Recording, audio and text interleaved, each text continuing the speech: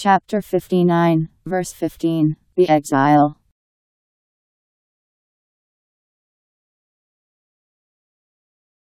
On the likeness of those who suffered a short time before them, they taste the ill effects of their own conduct, and theirs is painful punishment.